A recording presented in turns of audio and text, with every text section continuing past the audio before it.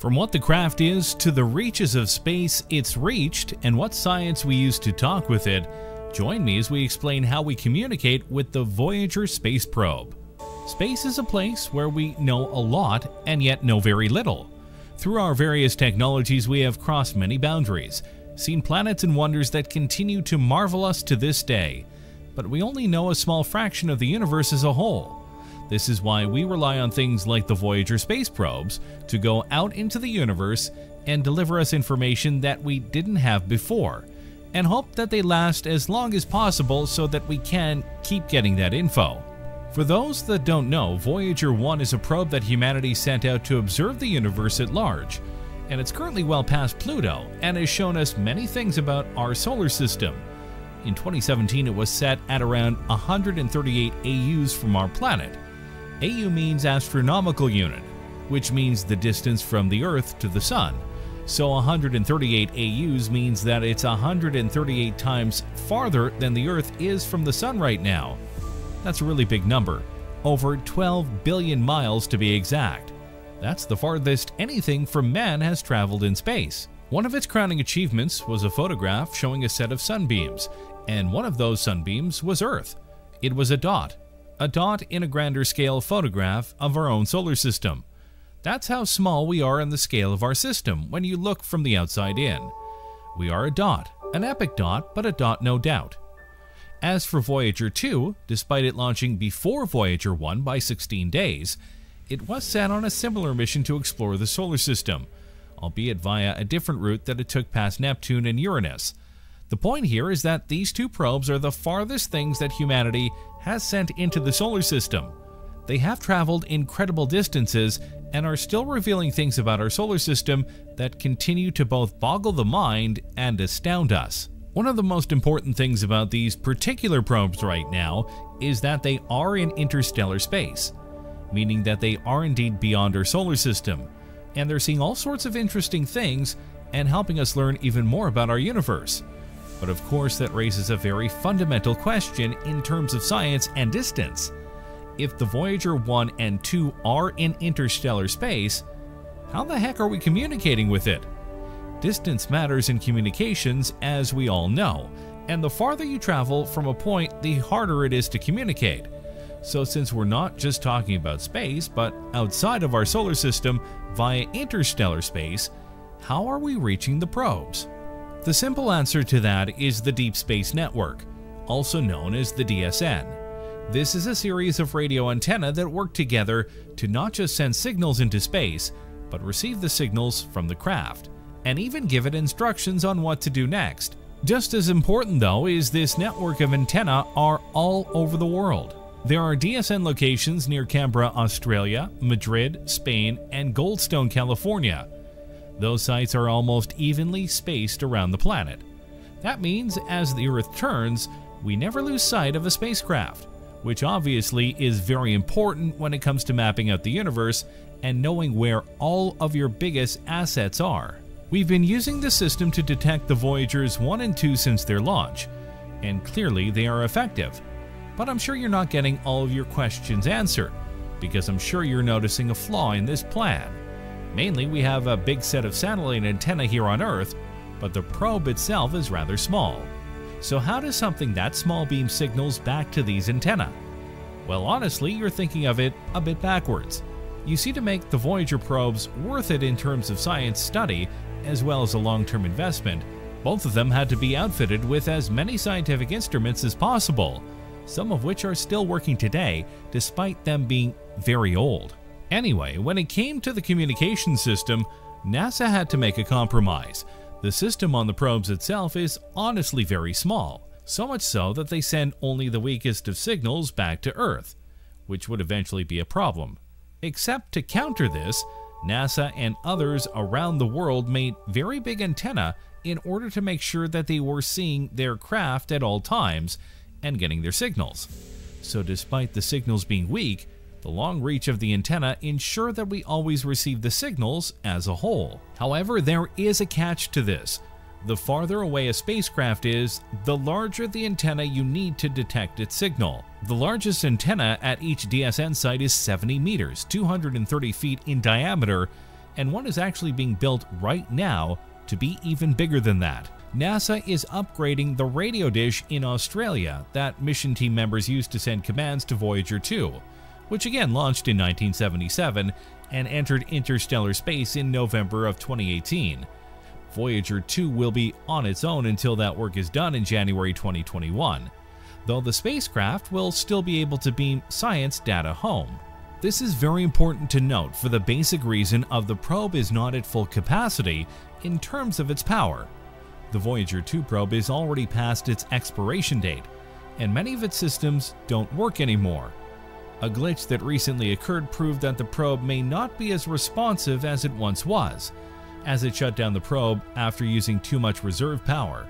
So if something like this happens again, it'll be drifting in space on its own for who knows how long until NASA can get this dish up and thus re-establish contact with it. True, the DSN tries to make sure this doesn't happen, but with the largest dish down, there is a blind spot that can be exploited. Despite the potential risks this entails, the team at NASA aren't too worried, it appears.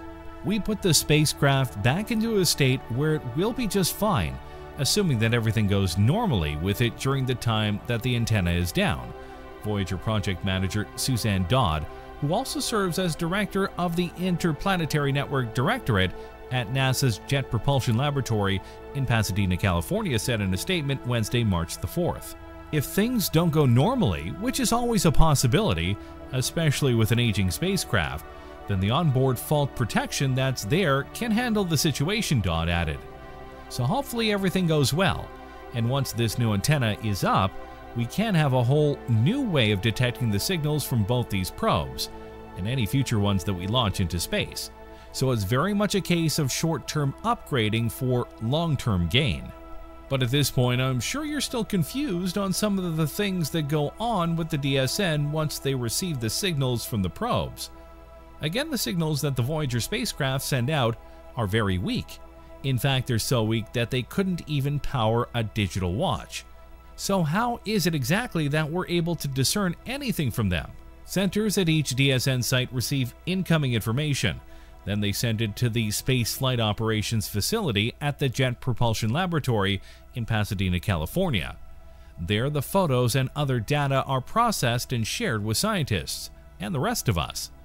And when the situation requires it of them, they're able to boost the signals of the probes so that they can be detected by the satellites.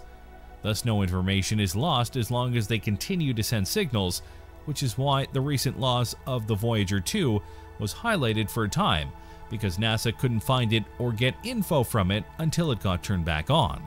So now that you understand how the probes work and how they're communicating with us back here on Earth, you might be thinking, what was some of the things that they picked up out in space that are so important? The truth of the matter is that they've done a lot. Just when they were in the solar system, they got pictures of planets and moons that helped us truly define them in certain ways, including getting us closer looks at them than we had ever gotten before.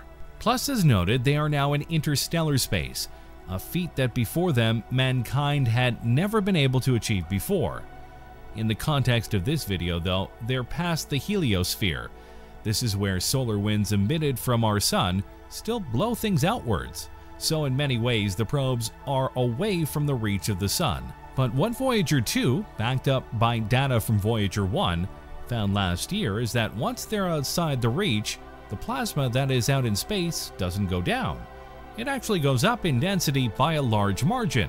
The marked increase in plasma density is evidence of Voyager 2 journeying from the hot, lower density plasma characteristic of the solar wind to the cool, higher density plasma of interstellar space.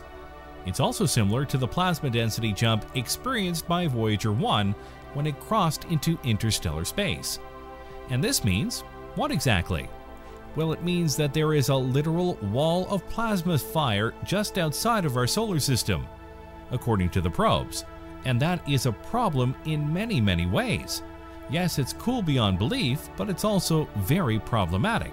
The wall of fire outside the solar system is caused by electromagnetic EM radiation, which is created by plasma and a local space environment full of raging magnetic fields. But while this is terrifying, it proves that NASA was right to launch not one but two probes to go and explore the universe.